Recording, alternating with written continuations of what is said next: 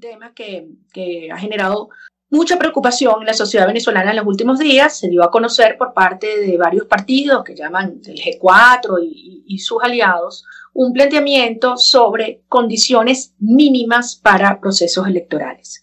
Yo voy a comenzar por ese concepto. Los venezolanos no queremos nada mínimo. No queremos conformarnos con las migajas o las concesiones que la tiranía pueda otorgar para dar una ficción de ejercicio democrático. No queremos nada mínimo, queremos libertad plena. No estamos dispuestos a más farsas ni ser utilizados de comparsas a operaciones diseñadas en Cuba y con los aliados de este, criminales de este régimen para mantener el mismo en el poder. Son 29 elecciones, son 15 referendos en estos 22 años. ¿Cuál parte creen estos partidos que los venezolanos no hemos entendido? Aquí no se trata de decir que sí que nos muevan un centro de votación para acá o que me pongan un rector de tal manera o que lo designe uno u otro. Estamos hablando de que en Venezuela no hay soberanía nacional. Estamos perdiendo el territorio. Desde el Esequibo, hoy en amenaza, en riesgo en la Corte Internacional de Justicia por responsabilidad directa de Hugo Chávez y Nicolás Maduro, hasta el Zulia, donde como nos estaban conversando hace unos minutos, los grupos criminales se, se pelean y se reparten el suelo venezolano. ¿Dónde están en esas condiciones mínimas que plantean estos partidos el ejercicio de la soberanía nacional en el país?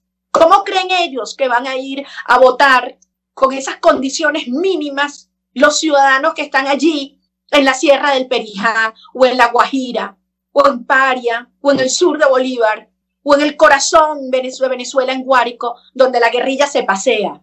¿Cómo creen ellos que los venezolanos que no tienen que comer que no hay gasolina, que no se pueden movilizar, pueden ejercer libremente el destino, su soberanía nacional, su soberanía popular. Si no hay soberanía nacional, no hay soberanía popular.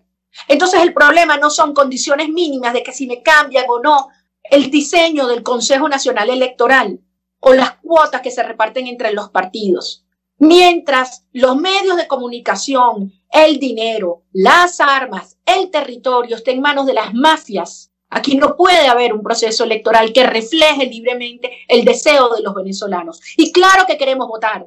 No caemos en chantajes que nos dicen que es que nosotros no queremos la vía electoral. Por Dios, años de mi vida le hemos dedicado a organizar a la sociedad para que defendiera su derecho y pudiera participar y elegir su futuro. Pero no es votar, es elegir no es ser parte de una farsa, de una ficción, es ser parte de una realidad. Así que hoy está más claro que nunca que el tiempo de la ingenuidad, de, de, de la indiferencia o la ignorancia, como le hemos dicho, se acabó. El tiempo de esa inocencia se acabó. Aquellos que estén planteando ir a un proceso electoral con el régimen en el poder son parte de la estrategia de la operación y del propósito de esta tiranía, que es mantener a Venezuela de rodillas y ocupada, porque hoy Venezuela es un Estado fallido y es un país ocupado, y así no puede haber elección alguna. Así que yo sí quiero decir con toda responsabilidad que me siento horrorizada de que se haya planteado ese documento públicamente suscrito por esos partidos, pero peor aún, que se haya planteado como un acuerdo hoy en la Asamblea Nacional.